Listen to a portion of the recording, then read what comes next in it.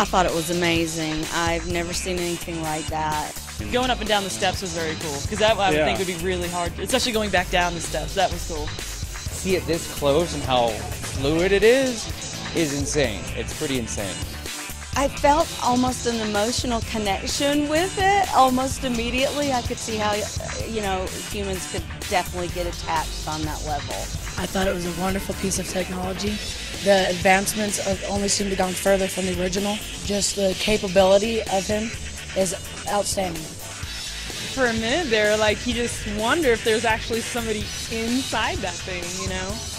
I mean, to see a robot get the movement in his arms and shoulders and all the joints you would expect a human to have, so it was pretty impressive. Yeah, I did not know robots were could do that Yeah. kind of stuff. That ASIMO was awesome. ASIMO was awesome. Yeah, it was incredible. He's awesome. He is. And I think everybody should have one.